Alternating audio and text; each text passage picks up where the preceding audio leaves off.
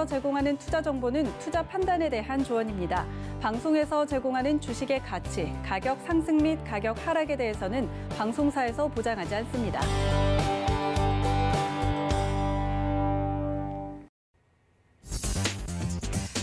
안녕하세요. 순간포착 매매 시그널 김성입니다. 어제 양시장은 모두 상승으로 마감했습니다. 코스피가 3거래일 연속 사상 최고치를 경신하면서 2,700선을 눈앞에 두고 있고 코스닥도 900선을 넘어섰습니다. 달러 약세의 원달러 환율 연일 하락세를 걷고 있는데요. 자, 이제는 1,100원 선마저 무너졌습니다.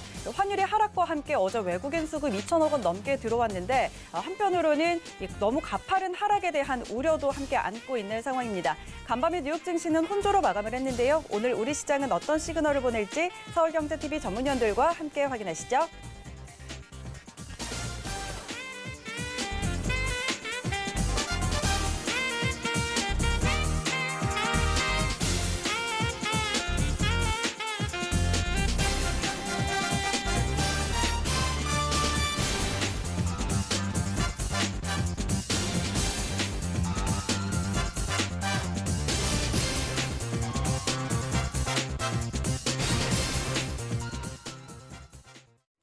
네, 순간포착 매매 시그널 오늘도 세 분의 전문위원과 함께합니다. 오늘은 이주현, 최충성, 김선윤 전문위원 이렇게 세 분 함께할 텐데요. 자, 이 시간 함께하고 싶으신 분들은요. 서울경제TV 유튜브 채널로 들어오셔서 라이브 방송과 함께 실시간 채팅창 참여해 주시기 바랍니다. 그리고 100원의 정보 이용료가 부과되는 문자번호 샵 0082번으로 문자 보내주시면 여러분의 종목 고민들도 함께 해결해 드리도록 하겠습니다. 많은 참여 부탁드릴게요.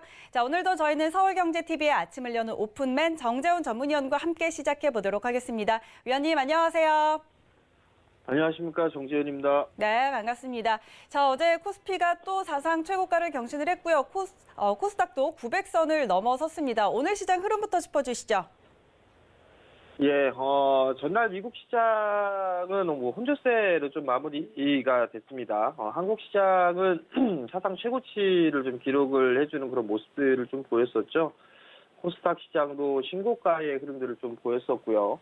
최근 들어서 이제 좀 많이 어, 올라와줬어요. 양시장 모두 많이 올라오는 그런 상황들이기 때문에 한국 시장 같은 경우는 또 혼조세로 좀 출발을 하지 않을까? 뭐 혼조세에서 뭐 강보합 뭐그 정도에서 좀 출발을 하지 않을까라고 좀 예상을 하고 있습니다. 최근 들어서 이 외국인 쪽에 있어서의 매수 기조가 계속적으로 좀 유입이 되고 있는 그런 상황들이죠.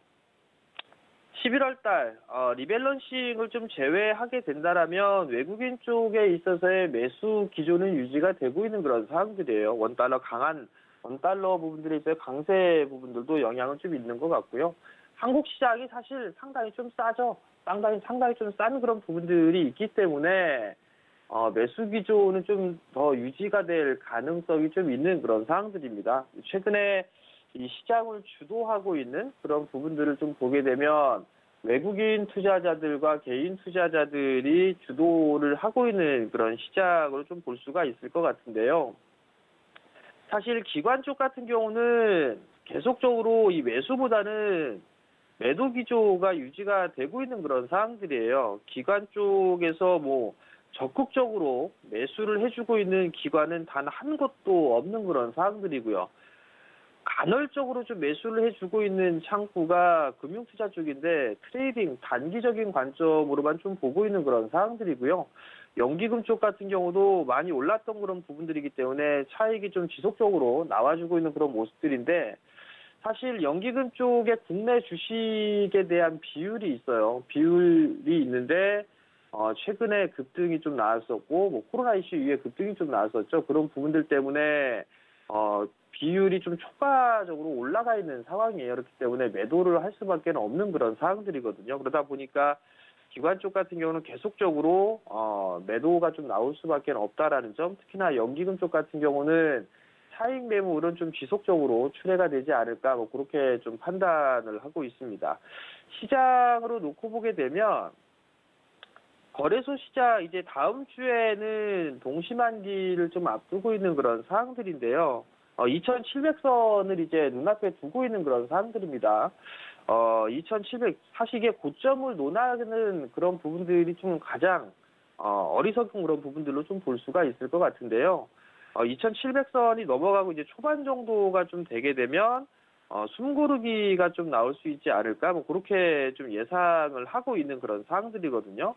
그 부분들을 좀 보게 되면 너무 많이 올랐어요. 너무 많이 올랐던 그런 부분들이 좀 있는 그런 사항들이거든요. 그렇기 때문에 어, 숨고르기가 조금 이어져야 되지 않을까 그렇게 좀 판단을 하고 있습니다. 선물 기준으로 좀 보게 되면 한 차례 좀 상승을 했었죠. 그리고 난 이후에 눌림을 줬었고요. 다시 한 차례 추가적인 상승이 좀 나와줬었는데 어, 이렇게 상승 N자형으로 좀 보게 되면 이제 한 362.5, 뭐 그 정도 언저리에서는 어, 단기적으로는 고점 정도예요. 그럼 지수로 놓고 보게 되면 2,700선대 초반이죠. 한 2,710, 2,720, 뭐 요 정도 포인트에 됐어서는 어, 단기적으로 좀 고점이 나왔다, 뭐 이렇게 좀 볼 수가 있을 것 같아요. 그러면 어, 숨고르기가 좀 나와줘야 되겠죠. 그렇기 때문에 어, 추격 매수는 좀 자제하는 그런 전략이 좀 좋지 않을까 싶습니다. 코스닥 같은 경우도 좀 마찬가지로 좀 볼 수가 있을 것 같은데요. 코스닥 시장도 전고점 자리대를 전날 넘어섰어요. 근데 이제 최고치 2018년도 때에 어, 형성됐던 이 930포인트 자리대는 넘어서지는 못했는데 여전히 뭐 숨고르기 이후에 추가적인 상승 시도는 좀 나올 수 있지 않을까 뭐 그렇게 좀 판단을 하고 있습니다. 결국 이게 어, 이제 고점이 나왔으니까 본격적으로 하락을 할 것이다 라고 말씀을 드리는 부분들은 아니고 지수가 올라왔던 그런 부분들이 있기 때문에 쉬어가는 그런 흐름들이 좀 나올 수가 있다라는 거. 그러면 이제 지수에 대한 부분들보다는 종목에 초점을 좀 맞추는 그런 전략이 좀 좋을 것 같고요.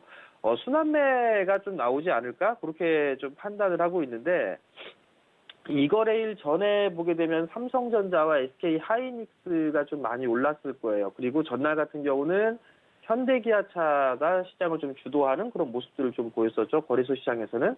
그럼 오늘 같은 경우는 만약에 뭐 조선 쪽이라든가 건설 혹은 2차 전지 이런 쪽의 종목군들이 강한 그런 모습들이 나오고 다른 종목군은 좀 쉬어가는 그런 모습들이 좀 나올 것 같아요. 그러면 이런 식의 업종별로 좀 순환매가 나오거나 아니면 업종 내에서 순환매가 좀 나올 수가 있다라는 거. 뭐 그러면 어제 뭐 현대기아차가 많이 올라갔다라고 하게 되면 못 올라갔던 뭐 현대글로비스라든가 뭐 현대모비스라든가 이런 종목군들처럼 이렇게 순환매가 좀 나올 수 있다는 분들 기억을 하시면 좋을 것 같고요.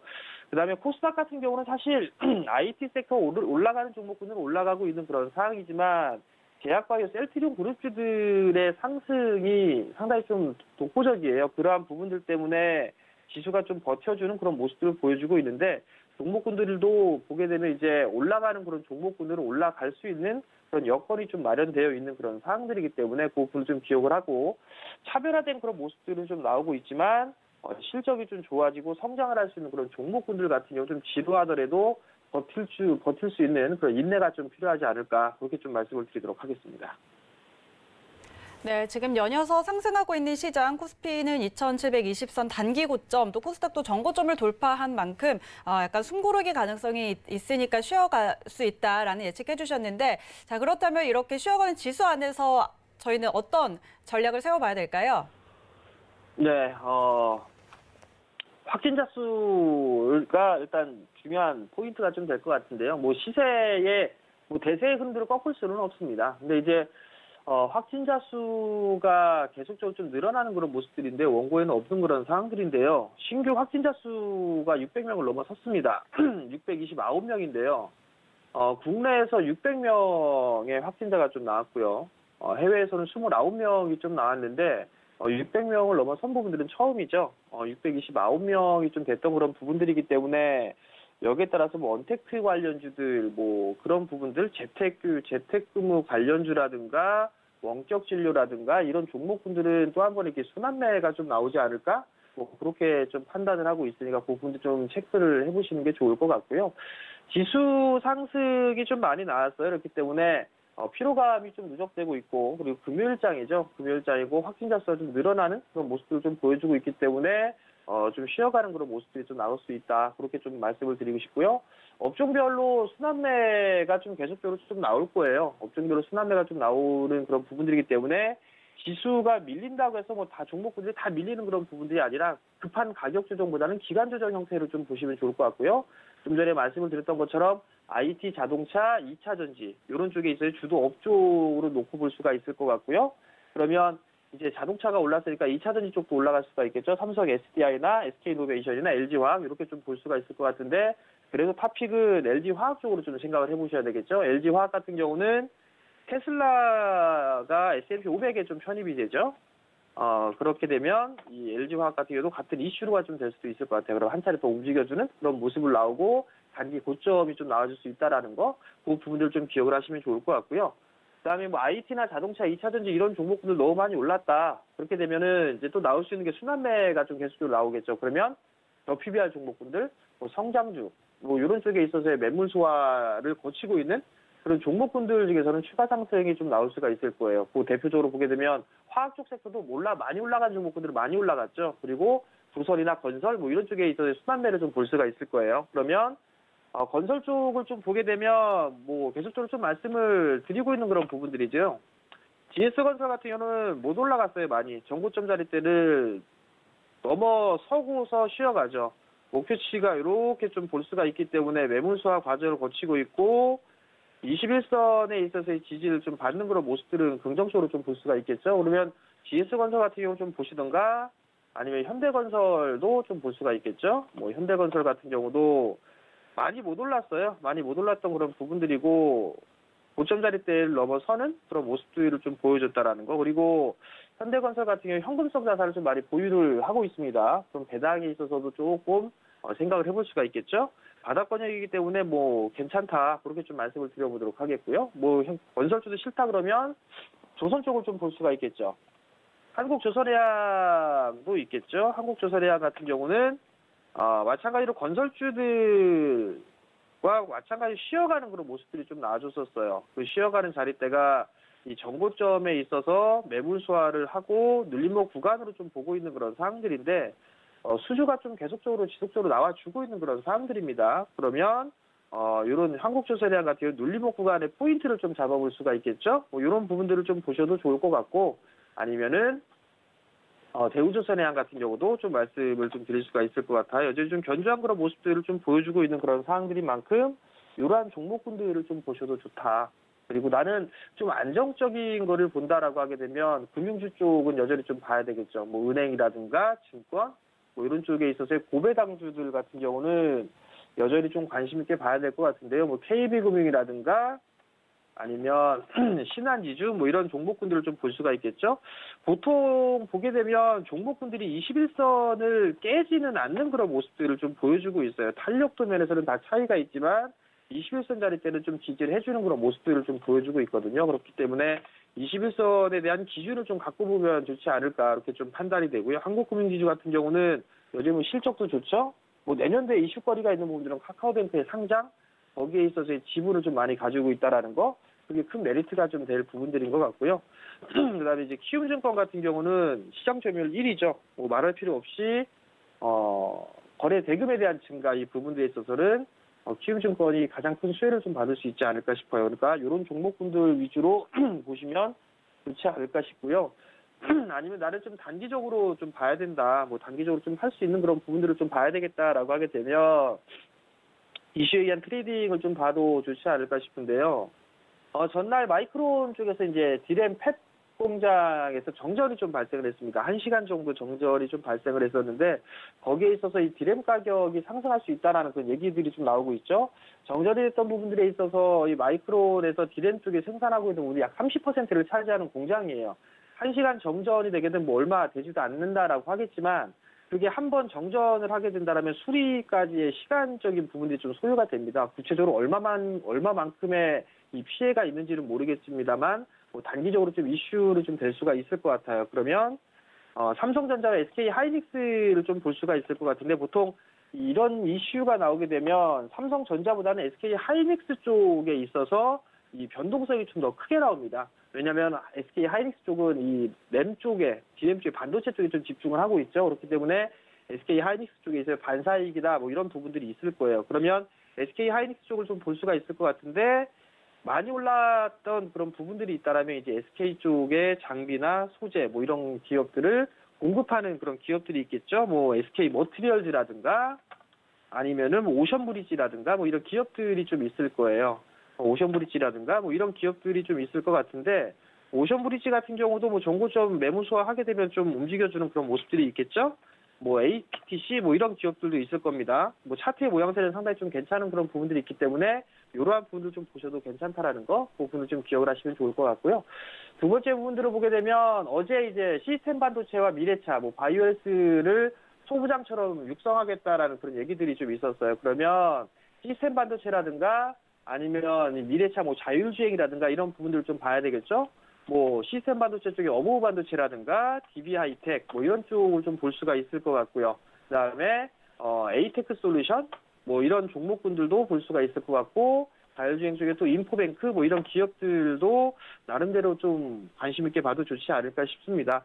사실 기술적인 흐름상에서 놓고 봤을 때 매집이 매집성 거래량으로 보여지는 그런 종목군들이 좀 많아요. 뭐 에이테크 솔루션도 그 중에 하나고요.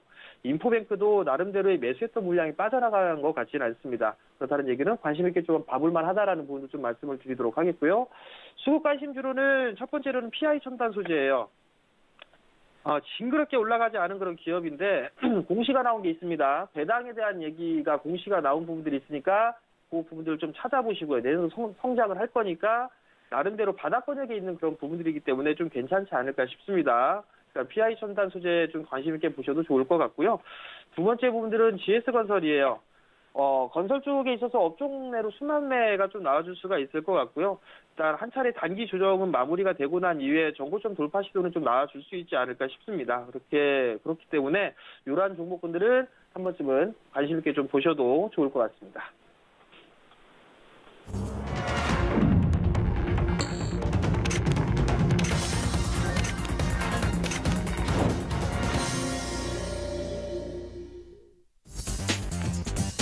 자, 12월 4일 금요일장 개장했습니다. 연일 새로운 기록을 써내고 있는 우리 시장입니다. 어제 코스피가 2,700선을 눈앞에 두고 마감했고 코스닥도 전고점을 넘어서면서 900선 위로 올라왔습니다. 아, 환율이 계속해서 떨어지고 있습니다. 달러와, 달러화 약세, 위안화 강세와 맞물려서 원달러 환율도 떨어지고 있는데 어제 1,100원 선 아래에서 마감이 됐습니다. 이와 함께 외국인 수급도 들어오고 있는 상황인데요. 자, 환율의 추이 계속 지켜봐야 될 것 같고요. 지수는 좋았지만 내부적으로 들여다봤을 때 상승보다 하락 종목 수가 많았습니다. 자, 체감하시 이 시장의 상승을 체감하지 못하신 분들도 꽤 계실 것 같은데요. 자, 오늘 우리 시장은 어떻게 출발을 했을지 코스피 시장부터 함께 가보시죠. 네, 코스피 시조 1위부터 5위까지 종목들 혼조 흐름입니다. 삼성전자와 SK하이닉스 역시 빨간불 켜내고 있는데요. 아, 삼성전자는 내년 실적에 대한 긍정적인 전망들이 계속 나오고 있습니다. 증권가에서 연일 목표가 상향 조정하고 있습니다. SK하이닉스 이 마이크론의 대만 공장 정전으로 인해서 디램 공급 차질에 이 SK하이닉스가 수혜를 입을 거라는 어, 이야기들 나오고 있습니다. 오늘장 역시 출발부터 강하게 4% 가까이 올려 세우면서 11만 5,500원으로 출발했습니다. LG화학 1% 가까운 상승으로 85만 4천 원 선 지나가고 있고요. 이어서 6위부터 10위까지 종목들 함께 확인하시죠. 네, 역시 혼조 흐름입니다. 셀트리온과 현대차 빨간불 켜내고 있는데요. 셀트리온 어제도 강했습니다. 오늘도 1.4% 상승으로 35만 6천 원 선 지나가고 있습니다. 현대차 어제 19만 원 선을 시원하게 넘어졌습니다. 오늘도 1% 상승으로 19만 8천 500원 선, 20만 원 선 눈앞에 두고 있습니다. 이어서 지수 함께 확인하시죠. 네, 양지수 모두 빨간불 켜냈습니다. 코스피가 0.4% 상승으로 2,700선을 넘어섰습니다. 2,707포인트 지나가고 있고요. 코스닥도 0.28% 상승 910포인트 지나고 있습니다. 이어서 코스닥 시장으로 함께 가보시죠.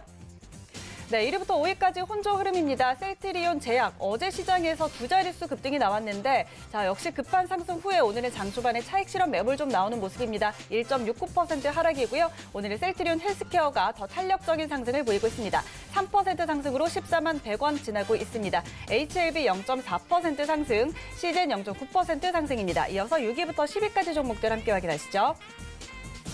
네, 역시 혼조 흐름입니다. 카카오 게임즈가 오늘은 상승이 눈에 띕니다. 1% 상승인데요. 하지만 주가는 여전히 지지부진한 상황 계속해서 횡보하고 있는 흐름입니다. 에코프로 BM이 오늘은 보합권 15만 원 선으로 출발을 했고요. 펄어비스 어제 중국 판호 발급에 급등을 했습니다. 시총 9위까지 올라온 상황인데 오늘은 0.4% 조정받으면서 23만 7,500원으로 출발합니다.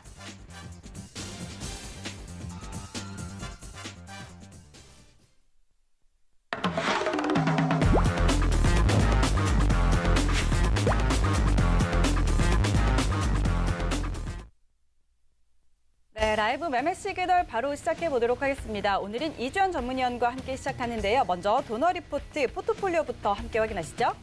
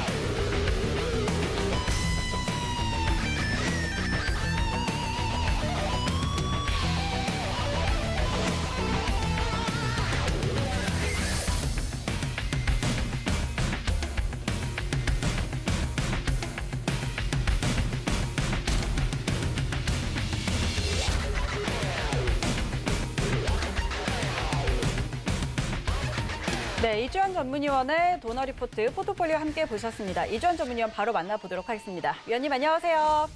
네, 안녕하세요. 네, 반갑습니다. 자, 지금 포트폴리오 함께 보셨는데 총 누적 수익률 지금 196.4% 달성하고 있고요. 자, 이 중에서 15% 수익률 달성한 이 MS 오토텍 앞으로도 주가 전망과 함께 나머지 종목들 시그널도 같이 주시죠. 네, 어, MS 오토텍 같은 경우 지금 신고가를 어, 달리고 있는 그런 종목인데요. 보시는 것처럼 월봉을 어, 보시게 되면 8,600원의 이 저항 라인을 어, 돌파할 가능성이 상당히 높다라고 이야기 드리면서 제가 어, 돈을 리포트에 이제 편입을 했던 종목인데 음, 박스권 일봉상에 이제 저항 라인을 돌파하면서 상한가 들어가면서 지금 신고가로 계속 달리고 있습니다. 전일 윗꼬리가 좀 강하게 달렸는데요. 아직 끝났다라고 볼 수는 없겠고, 어, 제 생각에는 추가적으로 상승이 가능한 어, 그런 흐름이 나올 가능성 상당히 높다라고 생각이 됩니다.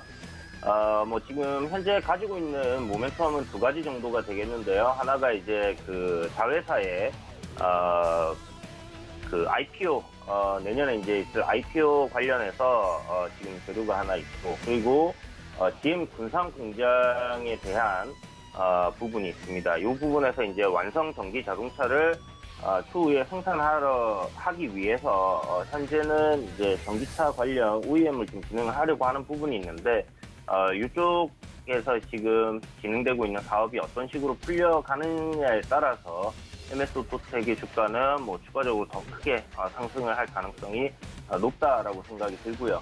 어, 일단 자회사 IPO가 예정돼 있는 만큼 어, 그 이슈가 어, 지속적으로 상승 모멘텀으로 좀 작용할 가능성이 높다라고 생각이 됩니다. 어, 다만 이제 신고가 같은 경우는 어, 디까지 갈지 어, 그 부분은 뭐 명확하게 알 수가 없는 부분이고요. 어, 전일 어, 윗꼬리가 달렸던 부분을 생각을 해본다면 뭐 추가적으로 상승이 나온다 했을 때 뭐, 어, 현재 11,700원 정도의 어, 7, 800원 정도의 저항 라인이 있다라고만 어, 생각을 해두시고 단기적으로 지금 접근하시는 분들은 뭐 그런 어, 위주로 어, 접근을 하시면 될 것 같습니다. 그런데 여기서 뭐 중기적인 관점으로나 어, 뭐 어, 그렇게 접근하기는 좀 어려울 것 같고요. 어, 단기 스윙 정도 어, 생각해 볼 수 있을 것 같은데 뭐 한 2, 3일 내로 시세 짧게 먹고 나오는 그 정도 전략 어, 이상은 아직은 생각하지 마시고요. 나중에 뭐 조정이 큰 폭으로 한번 어, 조금 밀려 내려와 준다. 아, 그렇게 되면 어, MS 오토텍 조금 어, 스윙 관점으로도 접근해 볼 수 있지 않겠나 하는 생각이 듭니다. 그래서 어, 현재는 모멘텀 여전히 어, 지속적으로 작용이 되고 있고 기술적으로 봐서도 신고가 흐름 양호하게 어, 나오고 있는 상황이기 때문에 오늘 윗꼬리가 길게 나온 어, 전일 그 팬들을 어, 지금 방송 출발하면서 메우러 갈수 있는 그런 가능성이 좀 열려 있다라고 보시면 좋을 것 같고요. 음, 뭐, 11,200원, 250원, 여기 이제 저항 구간이긴 한데요. 한 번 정도, 어, 올랐다, 조정 나오고, 그리고 다시 돌파하는 그림이 만들어질 가능성이 좀 높지 않나, 이렇게 생각이 듭니다. 그래서, 어, 어제 고점권에서의 매물이 이제 조금 거래량이 좀 많이 터졌어요. 어, 그래서 고 가격대, 그러니까 고점 12,000원 부근에서부터 좀 거래량이 많이 나왔기 때문에, 어, 그 정도는 좀 저항이 강하게 나올 가능성 높다라고 생각을 해두시면 좋을 것 같고요. 중가까지 만약에 양봉으로 마감을 좀 하는 그림으로 끝난다 하면, 어, 뭐, 추가적으로 내일도 강한 시세가 어, 예상됩니다. 그래서 오늘 뭐, MS 오토텍, 어, 뭐, 보유하신 분들은 어, 조금 더 가져가 보셔도 좋겠고요. 어, 상승 흐름 5일선 타고 지금 쭉 올라가는 모습이기 때문에, 어, 평단이 저 아래이신 분들께서는 어, 5일선 기준 잡고 어, 그렇게 한번 대응을 해보셔도 나쁘지 않을 것 같다는 생각이 듭니다. 그래서 MS 오토텍은 음, 추가적으로 추가적인 상승 흐름 나올 가능성 높지만 어, 뭐 아무 대응 없이 들어가기는 어려운 종목이다 이렇게 어, 정리해 드리도록 하겠습니다. 자, 두 번째 종목인 어, LVMC 홀딩스인데요.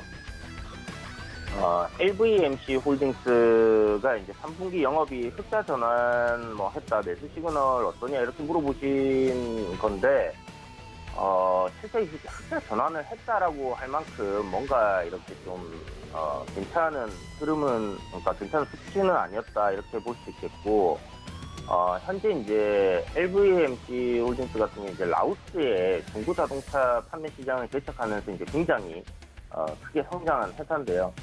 음, 지금 주가 보게 되면 2만 5천 원까지 어, 올랐다가 지금 어, 바닥까지 다 밀렸어요. 그리고 현재 주가 흐름은 좀 바닥을 다지는 그런 모습으로 보이는데 어, 상태 회사 상태가 그렇지가 않습니다. 어, 지금 보시는 것처럼 주가가 이렇게 많이 빠진 데는 이유가 있는데 아, 실제 3분기 흑자가 어, 조금 수치가 나오긴 했지만 어, 그렇다고 이 종목이 어, 앞으로 막 어, 계속 흑자로 전환될 가능성은 좀 높지 않다라는 생각은 들고요.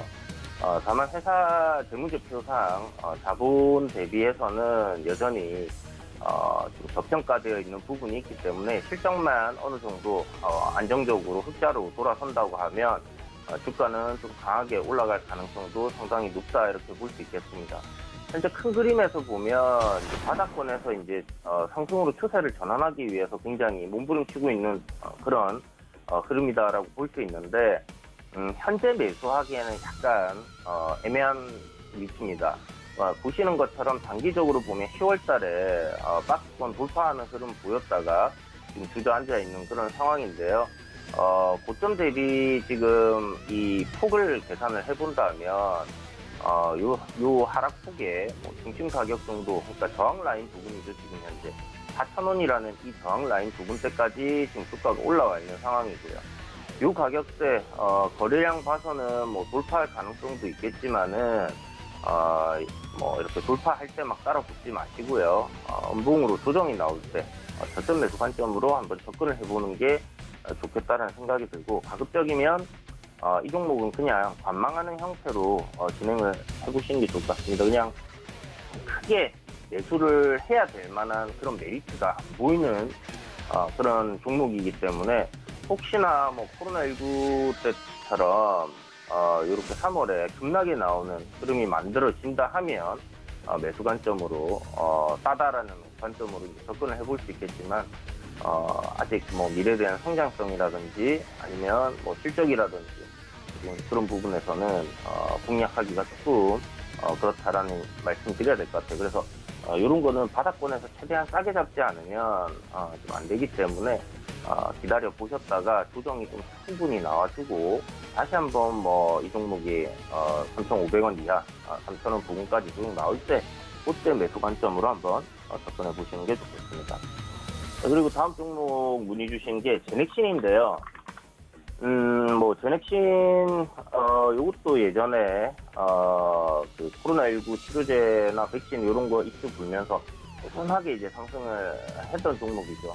아무래도 이제 그 바이오 섹터 내에서의 시총이 조금 어, 큰 종목이다 보니까, 그리고 유통 비율이 이제 굉장히 높다 보니까, 주가가 뭐, 어, 그 다른 종목들에 비해서 막 급등락은 없었던 것 같아요. 잔잔하게 상승하다가, 어, 시세를 한번 크게 주고 지금 어, 조정 잘 거치고요.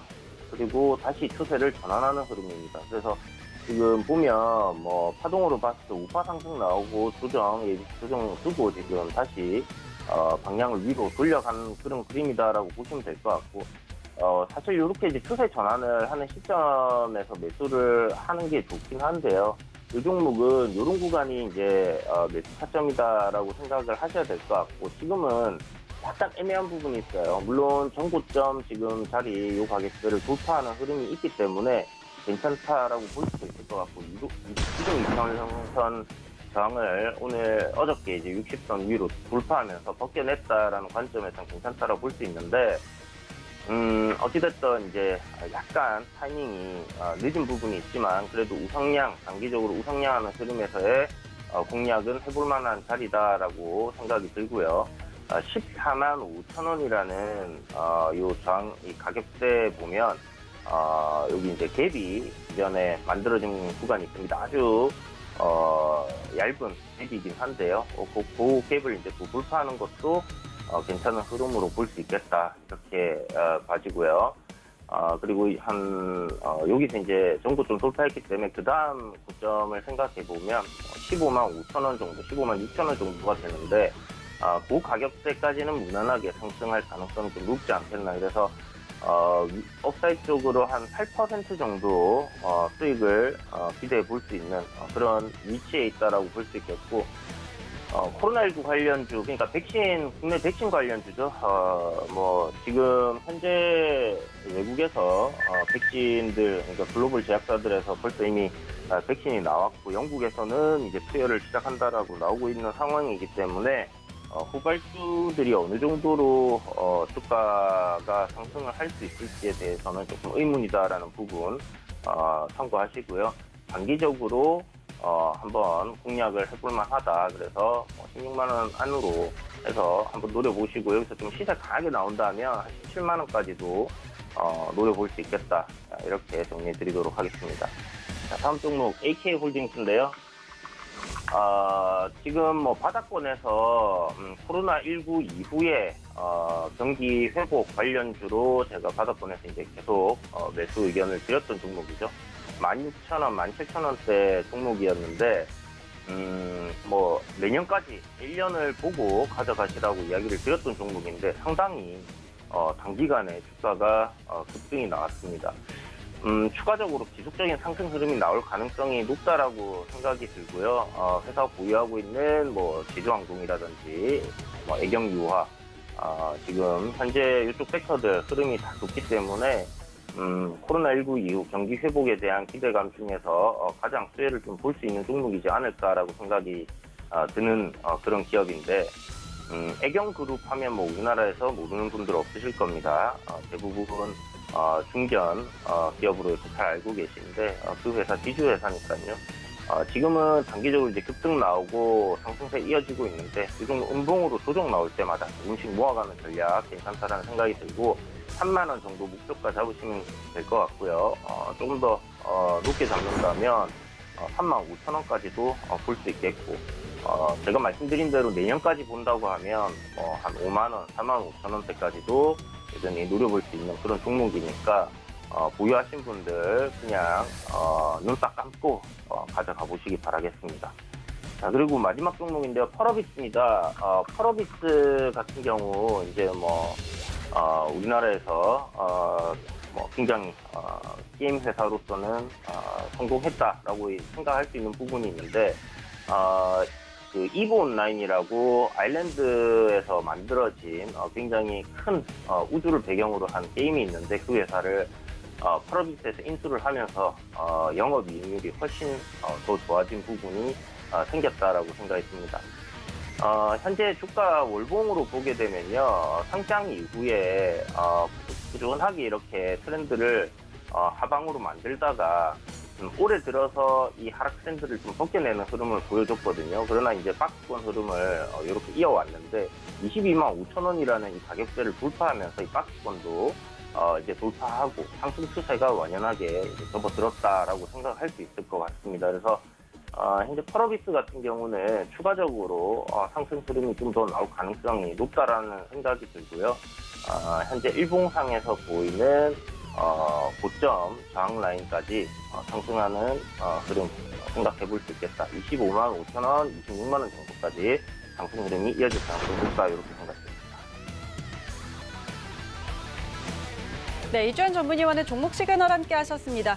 자, 오늘 시장 정말 강합니다. 코스피가 1% 넘게 상승하면서 지금 2,725선까지 올라와 있는 상황이고요. 코스닥도 같이 올라가고 있습니다. 0.37% 상승으로 아, 상대적으로 탄력이 조금 떨어지고 있기는 하지만 그래도 빨간불 켜내고 있습니다. 920, 911포인트 선 지나가고 있습니다. 자, 지금 장 초반에 거래소에서는 개인과 외국인 사주고 있고 오늘도 역시 기관은 물량 덜어내고 있는 모습이고요. 자, 환율이 오늘 더 떨어집니다. 4원 60전까지 빠지면서 지금 1,090원 선 초반대까지 1,092원까지 내려온 상황입니다. 자, 시장 일단 지수는 더 잘 가고 있고 환율도 좀 많이 내려와 있는 상황인데요. 자, 이어서 최충성 전문위원 만나보도록 하겠습니다. 위원님 안녕하세요. 네, 안녕하세요. 네, 반갑습니다. 자, 시장 오늘 굉장히 강한 흐름인데 시장 흐름과 또 종목 시그널 같이 주시죠. 네, 일단 시장 오늘 굉장히 좀 강한 모습을 보이고 있습니다. 일단 전일 유럽 그리고 일단 미국은 코로나 관련해서 일단 쉽고 영향을 조금 지켜보았고 다만 이제 백신 관련된 그런 뭐 공급 악화 소식에 좀 홍조 마감을 한 모습을 보였는데 일단 지금은 코로나 때문에 움직이는 모습입니다. 일단 그런 부분들 기대감 때문에 지금 움직이고 있기 때문에 일단 그런 부분들을 좀 잘 체크를 해보셔야 될 것 같고 다만 이제 외국인 수급 계속적으로 외국인 수급에 좀 영향을 많이 받는 그런 시장이기 때문에 일단 외국인 수급을 조금 잘 체크를 하시는 그런 관점으로 좀 보시는 게 좋다라고 말씀드리고 싶어요. 오늘 시장이 강한 거는 지금 외국인들이 코스피 지수 뭐 천억 원 정도 매수를 해주고 있고 선물에도 400억 정도 매수를 해주고 있어서 좀 강한 모습이다라고 말씀을 드릴 수 있겠지만 이제 상승을 굉장히 가파르게 좀 해왔다는 점 그리고 다음 주말부터 이제 현실화될 정책에 대한 그런 모멘텀이나 그런 백신 결과물들을 좀 볼 때 일단 모멘텀이 소진이 되면 변동성 요인이 굉장히 많아지고 기존의 상승을 제가 방송에서 많이 말씀을 드렸지만 상승을 했다가 분명히 쉬어가는 구간이 발생을 할 거거든요. 일단 그런 부분들이 나온다면 어떻게 내가 대응을 해야 될 것인가에 대해서 좀 염두를 계속적으로 해두고 지금 재료가 나오게 되면 백신에 대해서 지금 기대감 때문에 상승을 하고 있지만 재료가 표출이 되게 되면은 일단은 이제 다시 그 재료가 꺼지는 것이기 때문에 다시 떨어지는 거거든요. 일단 지금은 그런 부분들 계속적으로 기대감을 만족시킬 만한 그런 재료들이 호재들이 나올 것인지에 대해서 좀 잘 체크해 보시는 그러한 시장으로 지금은 선반영이 되고 있습니다. 항상 주식은 선반영이 되기 때문에 그런 부분들이 나와서 더 상승하겠지 라는 것보다는 그런 부분들을 이용해서 오히려 차익 실현이 나온다라는 부분들을 좀 인지를 하시고 무리하게 좀 대응하시는 거는 좀 자제하시는 것이 좋다. 지금 신용장구 물량도 굉장히 많아지고 있어요. 기관들은 계속적으로 매도를 하고 있고 차익 실현을 하고 있다는 그 점에 좀 힌트를 얻고 대응을 하시는 것이 좋다 라고 말씀을 드리도록 하겠습니다. 항상 이미 많이 오른 종목보다 상승을 준비하는 종목을 보자는 관점에서 오늘 방송을 네, 시황을 좀 말씀을 드리도록 하겠습니다. 자 그러면 12월 시장을 주도할 업종 지금 주도 섹터가 다소 이제 부재한 상황에서 제가 힌트를 좀 주자라고 이제 피디님께서 말씀하셔가지고 네 12월 시장을 주도할 지금 주도 섹터가 좀 부재한 상황에서 다소 이제 강하게 움직일 수 있는 그런 종목을 좀 보셔야 된다라고 말씀을 드리고 싶고요.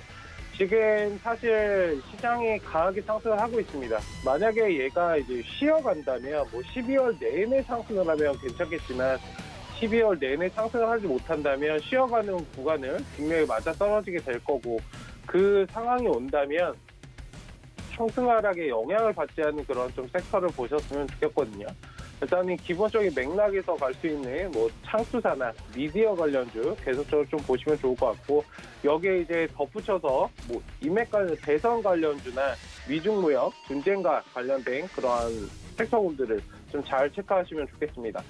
뭐 제가 하락이 발생했을 때 이제 집중적으로 좀 보셔야 되는 섹터는 미중 무역에 관한 그런 부분들, 뭐 히스토리나 뭐, 콩 같은 그런 것들이 있겠죠. 그런 것들을 좀잘 체크를 하시는 것이 좋다라고 말씀드리고 싶고 창수사나 미디어 뭐 이런 것들은 뭐 주가 상승 하락에 그렇게 영향을 받는 종목은 아니기 때문에 지속적으로 좀 잘 체크를 해보시고 최근에 흐름도 잘 좋았기 때문에 그런 종목들 미리 조금 잘 체크를 하시고 이제 4차 산업으로 넘어가기 전 단계이기 때문에 지금부터 틈틈이 잘 체크를 해보시면 어, 수익을 잘 얻어가실 수 있지 않을까 라고 말씀을 드리도록 하겠습니다.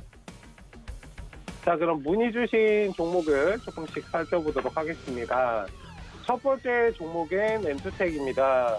네, 제가 이거 3,000원 초반대 이제 말씀드렸던 종목인데 거의 3배 이상 지금 상승을 했어요. 눌렸다가 다시 이제 반등을 하고 있는 모습인데 이 종목은 이제 지금 자리에서는 매수 관점보다는 조금씩 정리하시는 관점으로 보시는 게 좋다라고 말씀을 드리도록 하겠습니다. 다음 주에 이제 백신 관련해서 이슈가 나온다면 재료가 아까 전에 시황에서 말씀드렸듯이 재료가 소멸되기 때문에 지금은 너무 많이 올라간 종목들보다는 사실 이 폭 자체가 얼마 안 된다고 생각하실 수 있지만 제가 말씀드린 그 구간부터도 거의 300% 이상 상승한 것입니다. 일단 뭐 지금 자리에서 기술적인 접근 정도 는 괜찮지만 자기 대응이 좀 어려우시다거나 하시면은 좀 다른 종목을 항상 보시고 지금 바닥권에서 준비하고 있는 그런 종목들 많기 때문에 그러한 종목들을 오히려 찾아서 선취매를 하고 일단 준비를 하는 그러한 좀 상황으로 삼으셨으면 좋겠다라고 말씀을 드리고 싶습니다. 일단은 매수보다는 정리 관점에서 보시자라고 말씀드리겠습니다. 네, 다음으로 살펴볼 종목은 우리바이오입니다. 뭐 엔투텍, 우리바이오, 요즘에 뭐 화이자나 우더나 관련해서 관련주들이 굉장히 좀 관심이 많으실 텐데 이 종목 또한 마찬가지입니다. 뭐 시장에서 다 알고 있는 종목들은 사실상 상승 계속적으로 이끌어가기가 힘들어요. 이 종목도 매수보다는 정리 관점에서 좀 대응하시는 전략 그리고 다음 주에 백신 관련 이슈가 나오면 재료가 어느 정도 좀 꺼질 수 있기 때문에 아직 시장에서 나오지 않은 그런 종목들을 보셔야 상승 탄력이 강하게 올라갈 수 있다는 부분을 좀 기억을 하시고 대응을 하셨으면 좋겠습니다. 일단은 뭐 지금은 기술적으로 한번 노려볼 만한 자리이긴 한데 추세적으로 어느 정도 좀 강하게 9천 정도 자리를 좀 끌어 올려주면 더 갈 수도 있습니다만 항상 말씀드렸듯이 제가 말씀드렸듯이 매수할 때는 내가 매수를 해서 얼마나 수익을 낼 수 있을까를 보고 접근하시는 게 좋아요. 지금 이 자리에서 들어가서 먹을 수 있는 폭사세가 그렇게 많다라고 말씀드리는 게 아니기 때문에 아마 어떤 말씀드리는지 아실 겁니다. 일단은 그런 관점에서 좀 차분하게 바닥에 있는 종목들 준비하자 말씀드리겠습니다. 다음으로 살펴볼 종목은 두산 퓨어셀입니다. 일단 뭐 상승을 많이 했죠. 그린뉴드 관련해서도 이슈를 받았던 그런 종목이기 때문에 시간을 두고 모아가는 전략은 괜찮습니다만 아까 전에도 말씀을 드렸듯이 이미 많이 오른 종목보다는 앞으로 상승할 종목을 바닥권에서 매수해서 이렇게 끌고 가는 것이 좋다라고 말씀을 드리고 싶습니다. 사실 600% 이상 지금 상승을 하고 지금 시역하고 있는 구간이기 때문에 물량 소화가 뭐 한두 달 안에 끝날 수 있는 그런 부분들이 아닙니다. 이런 과정에서 시간을 좀 오래 두시고 만약에 관심이 있으시다면 시간을 오래 두시고 끌어가셔야 된다라고 말씀을 드리도록 하겠습니다. 천천히 보시고 이 종목보다는 다른 종목들 좀 체크하시는 게 어떨까라고 말씀을 드리고 싶어요. 네, 다음 종목은 A스토리입니다. 매수에 대해서 말씀을 하셨는데 일단 기술적 접근 가능이다라고 말씀을 드리고 싶습니다. 다만 이제 단기 대응 좀 어려우시면 관망하시는 게 좋다라고 말씀드리겠습니다. 일단 지금 17,000원 정도 자리를 좀 지지해주고 있는데 한번 이렇게 더 흔들게 되면 16,500원 정도까지도 한번 흔들 수 있습니다. 지금 이 자리 흔들고 다시 반등이 나올 때좀 접근하시는 게 좋거든요. 일단 전일 종가가 회복되는 모습을 보고 좀 진입하시는 전략입니다. 전일 종가가 17,400원인데 저 자리를 좀 회복하는 모습을 보인다면 기술적으로 접근 가능한 구간이지만 단기 대응이 어려우시면 네, 항상 바닥권에서 준비하는 종목들을 좀 보자라고 말씀드리겠습니다. 사실 지금은 또 상승 상승을 이어왔기 때문에 보유하신 분들의 영역이다라는 부분들 그리고 다른 좀 먹거리를 좀 찾아 다녔으면 좋겠다라고 말씀을 드리면서 일단 종목 관련해서 오늘 다섯 종목 네, 섹터까지 다섯 개 살펴봤습니다. 네, 최충성 전문위원의 종목 시그널 함께 하셨습니다. 오늘은 대체적으로 이제 좀 바닥권에 있는 종목들 어, 매수해보자라는 의견을 주셨는데 자, 오늘은 또 최충성 위원의 수익률 도전하는 날입니다. 오늘 어떤 종목 도전해볼까요? 네, 일단 오늘 말씀드릴 종목인 나우 아이비라는 종목입니다. 기존에도 한번 제가 이 자리에서 말씀을 드렸었죠. 그리고 제가 조금 전에 이제 업종 힌트 드리면서 청수사 관련해서 좀 말씀도 드렸었습니다. 일단 잘 체크를 해보시면은 뭐 추세적인 상승이 나올 것이다 라고 말씀을 드리고 싶고 매수가를 제가 7,700원 정도 준비를 했는데 오히려 지금 저점에서 모아갈 수 있는 그런 구간입니다. 7,570원, 그러니까 7,600원 이하에서만 매수해서 끌어가셨으면 좋겠어요. 목표 구간은 일단 단기적으로는 8,000원인데 8,000원을 제가 드리진 않겠죠. 일단 뭐 8,000, 9,000원 정도 보시고 대응을 하시고 손절 구간은 7,500원인데 지금 눌려가지고 너무 타이트하게 좀 잡아드린 것 같아요. 살짝 수정해드리면 7,300원 정도 넓게 그냥 7,000원 정도 보시고 대응을 하자. 매수가는 7,600원 이하, 손절가는 7,000원 이하에서 대응을 하셨으면 좋겠습니다. 얘가 추세적으로 이렇게 한번 눌렸다가 또 반등을 치고 올라올 수 있기 때문에 창수사 관련주들은 계속적으로 잘 체크해 보시면 네, 수익이 괜찮게 잘 날 수 있을 것이다. 그리고 나이, 나우아이비는 제가 기존에도 말씀을 드리고 수익률을 좀 어느 정도 보여드렸던 그런 종목이기 때문에 잘 체크해 보시면 좋다라고 말씀을 드리도록 하겠습니다.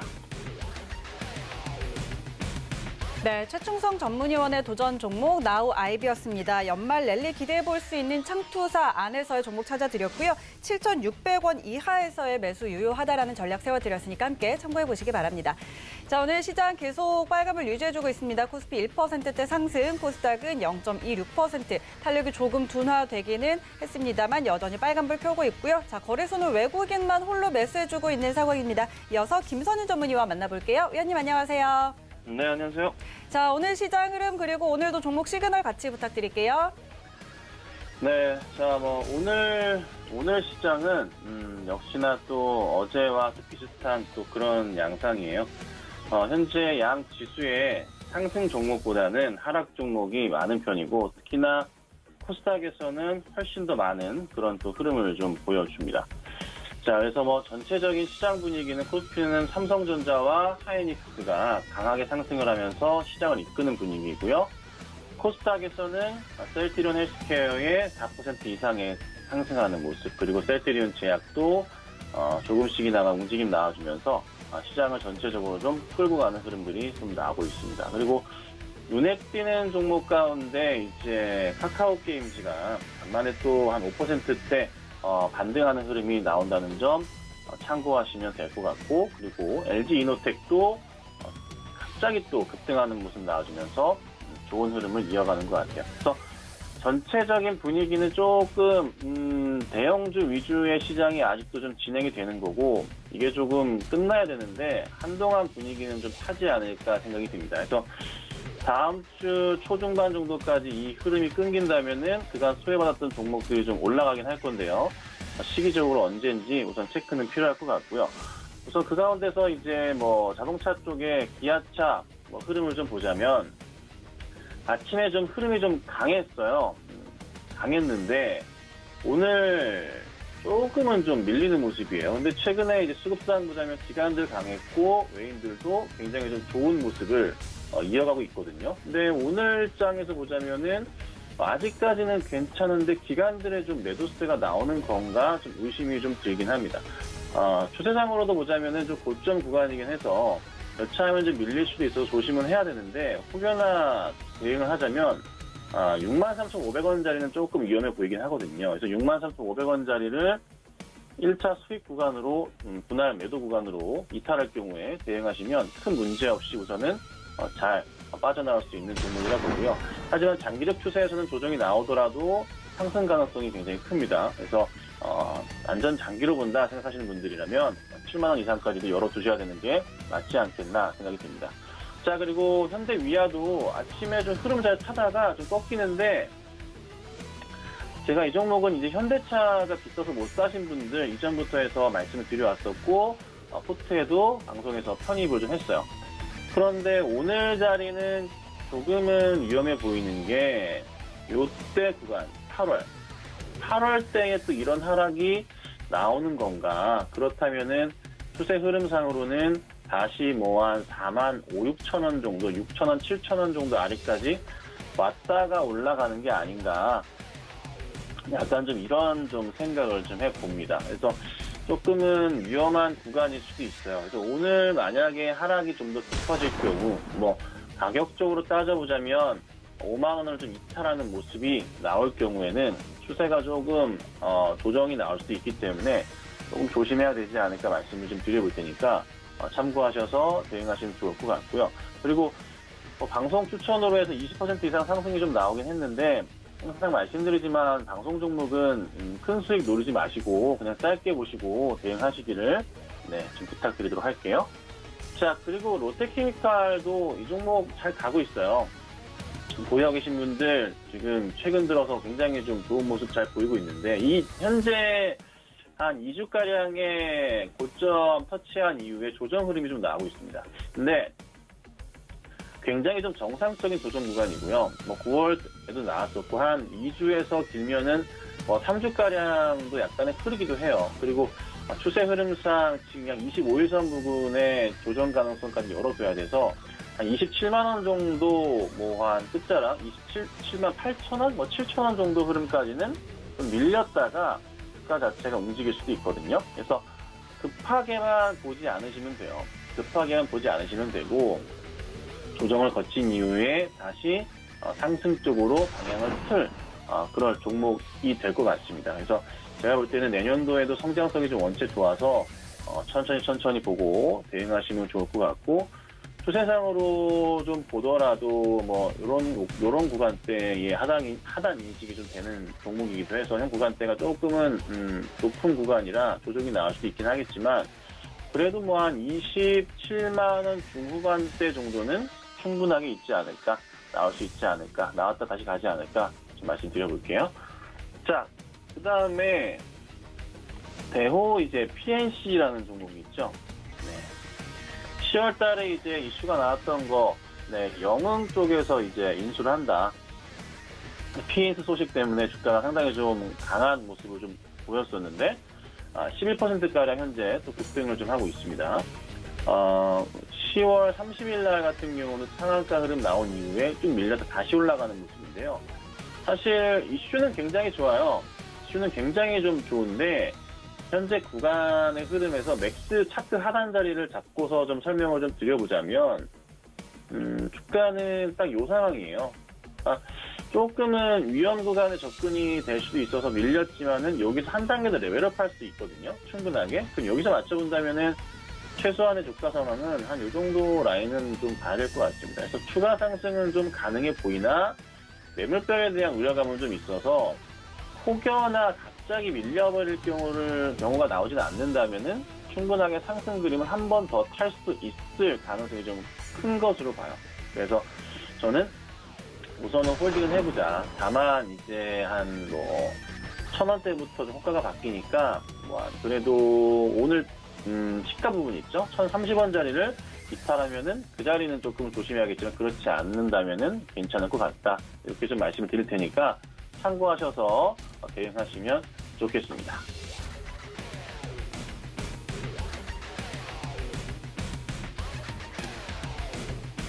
네, 김서진 전문위원의 종목 시그널 함께 하셨습니다. 자, 지금 시장은 참 강합니다. 지수는 양지수 모두 빨간불이고 특히 코스피 1% 넘게 올려 세우고 있는데 자, 시장 내부적으로는 어, 어쨌든 하락 종목 수가 더 많다는 점 짚어드리도록 하겠습니다. 역시 종목 장세 이어지고 있는데요. 계속해서 함께 하시면서 시장 대응해 보시기 바랍니다. 자, 오늘 저희가 전해드린 정보는 투자 판단에 대한 조언일 뿐 해당 상품의 가치와 수익률은 보장하지 않습니다. 그리고 서울경제TV의 전문위원과 패널을 사칭한 1대1 유사수 진행위 성 행하고 있습니다. 이와 함께 또 유의하시기 바랍니다. 자, 오늘 순간부적 매매 시그널은 여기까지고요. 저희는 다음 주에 돌아올게요. 고맙습니다.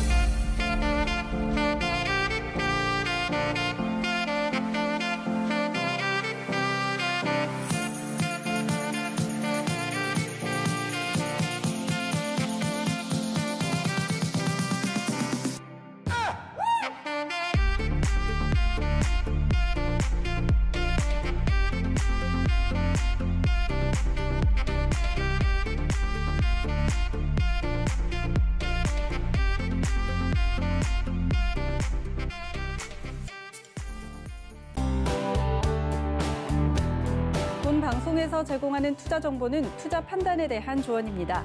방송에서 제공하는 주식의 가치, 가격 상승 및 가격 하락에 대해서는 방송사에서 보장하지 않습니다.